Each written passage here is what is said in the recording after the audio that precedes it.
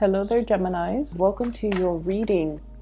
I had a series of um, images that just kind of popped up, and it's funny. So first of all, I see this uh, this teenager. She's probably like 15, 16. She's really pretty. She's wearing like a Catholic schoolgirl, you know, blouse and the little plaid skirt, and she's in class, almost like chewing bubblegum, and she's bored, and uh, she's kind of like closing her eyes, kind of dozing off and daydreaming Okay. So she's in a place that she doesn't want to be in because she's bored. It's not giving her enough stimulation.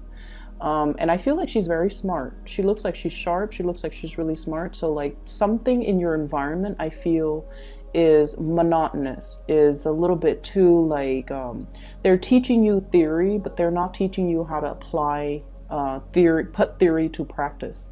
So I feel like, yes, you can sit there and absorb the information, but unless you get some type of a hands on experience, you might not know how the information is even relevant or how the information is even applicable. So that daydreaming vibe, I almost feel like there is something here that you don't want to, a situation you don't want to be in because you're thinking of opportunities you're thinking of um, ways in which you know you can get out into the world and start to apply your knowledge and and fix real life problems so i feel like you're thinking more in terms of practicalities versus you know um, it's like practicing something versus learning just a theoretical concept. And that theme is definitely echoed in these um, cards, the first four cards. This is waiting for your ship to come in, Three of Wands, waiting for excitement, waiting for opportunities, waiting for physically an opportunity where you can flex your muscles, where you can shine, where you can apply everything that you've learned and see what sticks. Okay?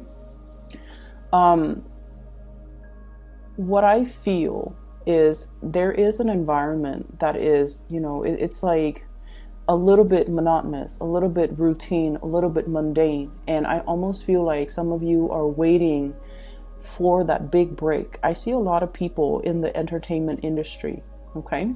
Where you are right now with the, uh, this is the Knight of Pentacles and it's in the reverse position.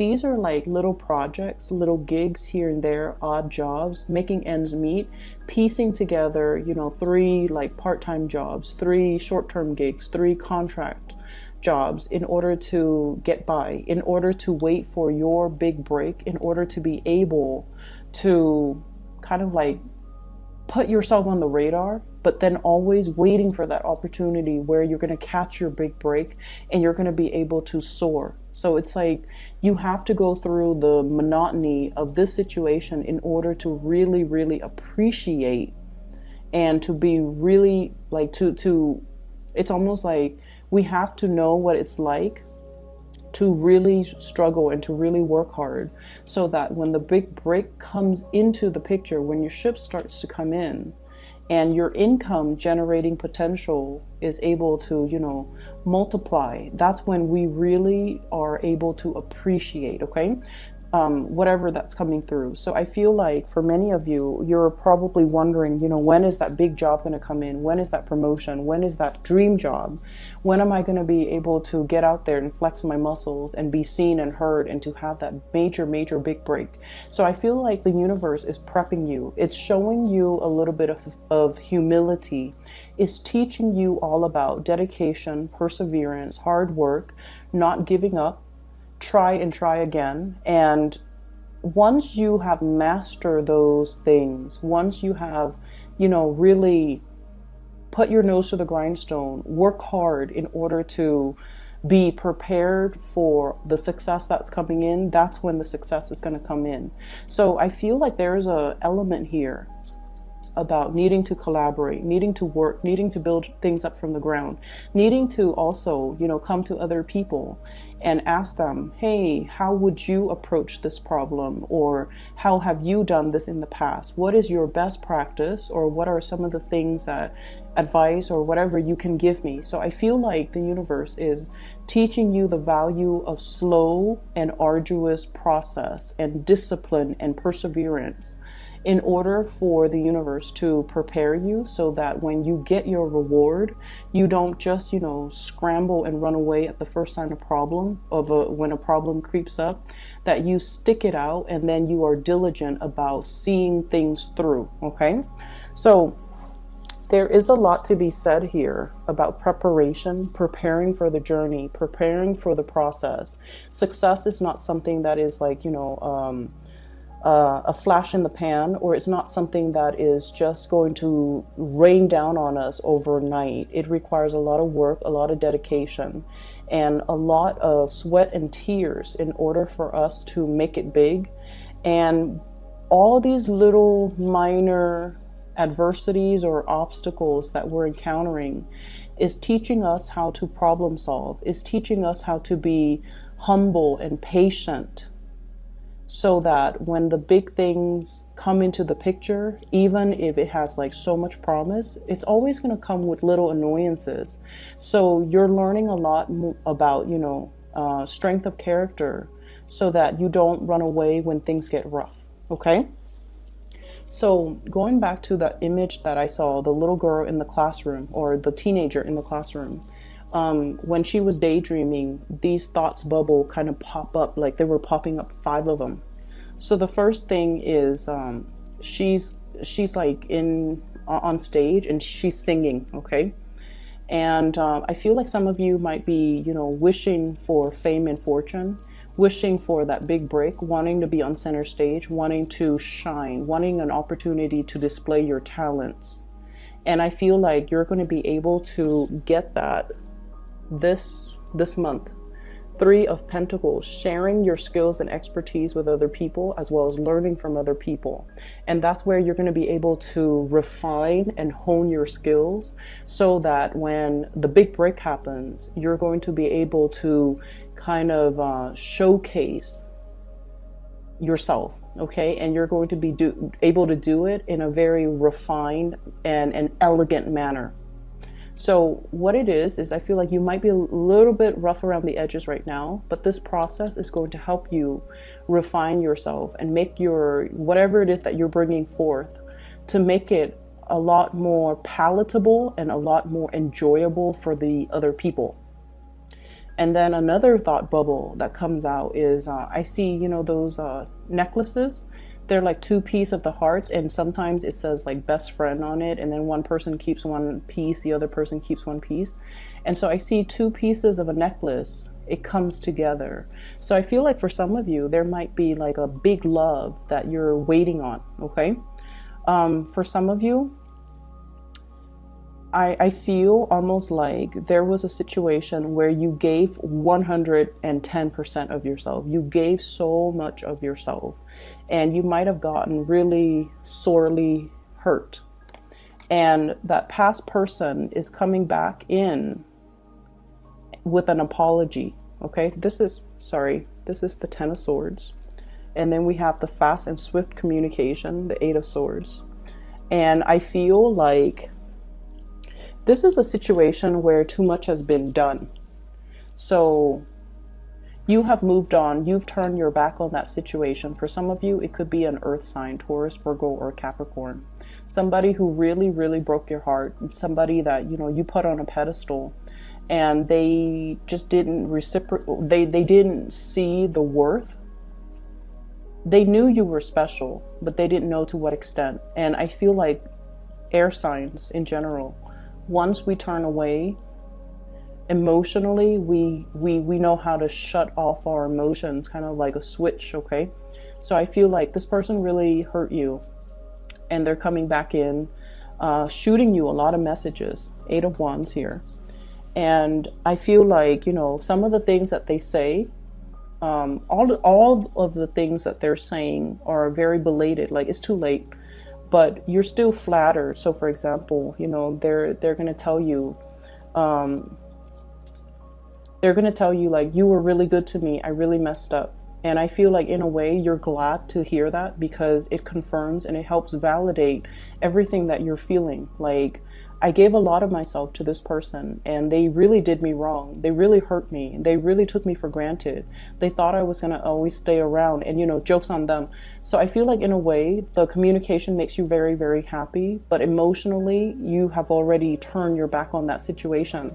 So you don't have any much, uh, you don't have any more of this love, Queen of Cups reverse, to give that person. So they're going to be shooting you messages, but you're not really reading it, you could already be have been blocking them so you're not really getting the messages or until you heard whatever it is that you you were waiting for like I'm really sorry I was a fool whatever the situation is and then you kind of like turn them off or you kind of block them so that you don't need to be bothered with it anymore. Options are dwindling okay? So it's it's more like this is not a good person for me to be in because they took me for granted and now everything is too late. Too much has been done, too much has been said.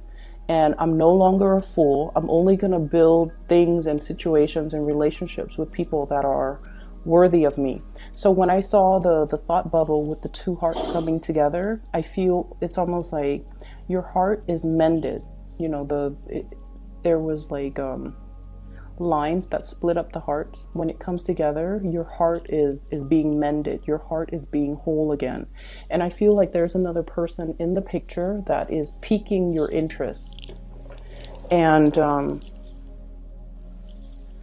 here's the thing where the that that second message or the second image ties in with the first. So you know a lot of the times right um, and this is something that is very prevalent with air signs air signs, and especially you guys, Gemini, you live out this fantasy romance in your head. And you know, it's really, really uh, enticing in your head, right? And you guys do this often. You daydream. You daydream about scenarios. You daydream about what's the other person going to say, what I'm going to say back, and so on and so forth. So everything plays out in your head like a movie and especially if it's somebody that you're heavily thinking about that you really like, you play it out, all the possible scenarios in your head. And the thing is, because of this situation that kind of um, brought a sense of realism and reality into you, now you're at a point where you're just like, I'm looking for something real. I'm looking for something stable. I'm looking for something that is long lasting. So I feel like you have matured as a result of this disappointment. You have really matured. And you have two other characters here. I have a fire sign, Sagittarius, Aries, Leo, and I have an air sign, Aquarius, Gemini, Libra. Also a water sign, Pisces, Cancer, or Scorpio. Okay? And what I'm feeling is this you're playing out the scenarios in your head if you have all of these suitors, you're playing out the scenarios. And I feel with you guys, you always know, and there's always an order of preference as to who you want the most. But you've been burned in the past, and you want to be able to put theory into practice. So it's almost like you want to date, but you want to always you want to also have that trial run of a relationship with another person before you invest your all and you wish there is a way for you to it's almost like a, a hypothetical you know? You might be in one relationship and you're just like if i leave this relationship hypothetically if I leave this person for another person, what is that relationship going to look like? So you start to daydream and fantasize and and conjecture about that other relationship just to see how long term, how viable it is. And so I, I almost feel like there's a frustration here coming into this spread about hypotheticals about wanting so badly to live like an alternate reality you know like an alternate like to be on an alternate um, time frame where you can explore other opportunities. And then if those things don't work out then you can always come back and return to the status quo. It's it's it's that intense. And so I definitely feel like in the love relationship sector there might be a few options that are available for you And I also feel like, you know, you're really, really looking for your stability, Four of Wands. You're really looking for your other half. And you're almost like looking for this whirlwind romance where the other person's on the same page, the other person will love you and give you everything that will really restore your faith and love in relationships. Whatever that was taken away in the past, you want this new relationship partner to kind of like help you restore it and help you bring you to fullness and uh, when we enter relationships expecting the other person to kind of complete us, we want to be a little bit careful about that. That's kind of um, placing unfair expectations on the other person. And it's also, it should be a little bit of a warning sign for you guys to put so much emphasis on relationships wherein you're expecting the other person to fulfill you rather than going out into the world and fulfilling yourself but then also placing so much emphasis and, and so much expectations on a relationship partner is always, you know, a setup that is not healthy. So you want to be a little bit careful about that, okay? So I see here a big element about wanting to, you know, kind of like um, start anew, start over, and have something brand new, something a little bit more stable but I also feel like there's this um, really, really strong need as well about being able to experiment without the risk of losing the status quo. Okay, and, and so I feel like, you know, in the realm of fantasy, everything is just really um, available for you to experiment. But in the real world, you're a little bit frustrated because physical constraints do not allow you to do that. Okay, so I, I, am sensing this this fantasy versus reality duality here coming into the picture. And you guys are such you guys are such hopeless romantics. And I feel almost like the world of the fantasy is always going to be a lot more alluring than the real world because that's where your all of your fantasies get um, to be acted out, get to be realized without any real world repercussions. And whereas the here and now, where you're at right now, waiting for resolutions, waiting for contact, waiting for a situation to um, come together where people can start cooperating, I feel like the wait is can be very frustrating. Okay, um, so aside from that, uh, the thought bubble. So I think there were four. I mentioned the heart. I mentioned as well the um, what was that first one? What was that first one? So on stage, and then I mentioned the heart. So what I'm also feeling as well is um, this. I see this tent, and it's like in the middle of the woods. Okay, wanting peace and sight and quiet as well. And funnily enough, this card or this spread is filled with a lot of people wanting companionship, wanting, you know, connections with other people, wanting recognition even from other people. But deep down, there's a need to retreat that you might be as well overlooking, I feel. When we're constantly in Gemini's as an air sign, you guys are the most wired, okay? You're very, very connected through social media, through electronics, through communication, um, through like banter and just, you know, office politics and chit chat. And so I feel like there is also this need in you as well that you might not be aware of or you might be neglecting. This need to kind of unplug from the world and to kind of like spend time by yourself doing hobbies, doing activities on your own. And I feel like the retreat and to drown out the noise and to kind of like, you know, uh, cocoon yourself into a safety environment, whatever it is, like, um, you know, uh, spending a, a, weekend in, sleeping in late, being away from people, going for a hike by yourself, doing like taking a trip by yourself.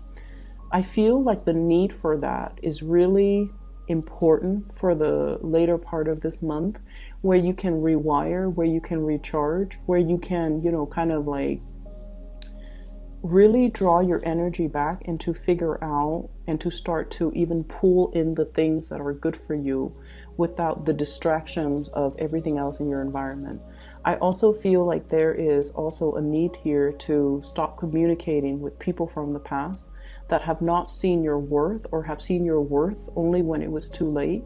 And then to be able to kind of block out, energetically block out that part to be able to allow new energies to come in. You definitely have two new people. You have definitely someone who's interested in you, someone who, who is carrying a torch for you here, Knight of Wands, chasing this person. So, this is somebody who's very, very interested. They're physically attracted.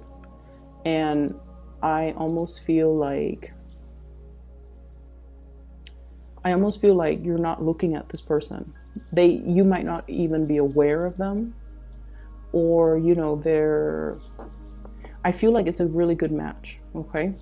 I don't feel like it's even a fire sign. I just feel like it's somebody who's making their intentions very very very known to you. So let me pull out a few more cards to check out the dynamics here.